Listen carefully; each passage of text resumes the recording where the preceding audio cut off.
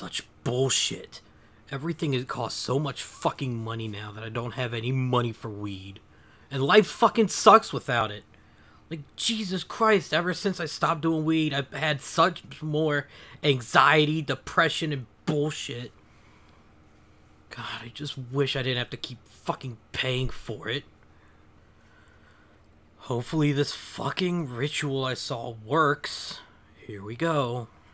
Lord of all that is blessed with weed, I call upon thee so I may spread your Dacus seeds.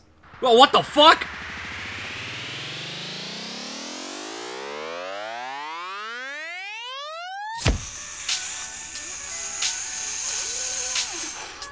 Oh, that's some good shit. Oh, what's up? Wait, hold up.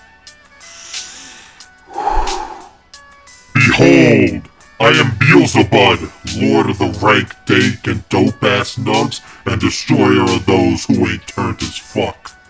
What have you called me for, mortal? Well, uh, Oh, wait, wait, before you say anything.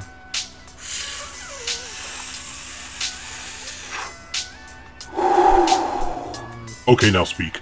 so I, I just called you here to see if it was possible to get weed for free in any sort of way.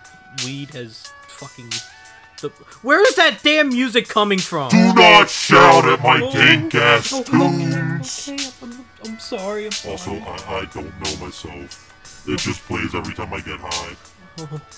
Um, but your Royal Highness, I was just like I said, I just wanted to know if it was possible if I could get weed for free because the fucking price of weed on top of everything else is atrocious. I don't have enough money for it and it's Silence!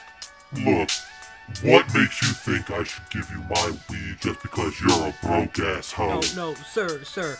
I'm sorry. I didn't mean your weed. I just meant like Ah, I'm just playing with your bitch ass. But look, for real, I'm willing to be your dealer to help you. thank God. However, you'll still have to pay me. Oh no, how much? I need you to kill 10 people Wait, wait, every month hold up, what? for one month's supply of weed. Failure to comply, I will take your soul and you will never smoke weed again. Wait, why do I have to kill people for weed? Why can't I just give you like I don't know? What do I have? And that is exactly why you have to kill people for weed.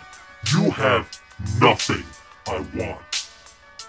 That and because last week you were so desperate you said you would kill for weed. So now I'm holding you true to those words. Good luck.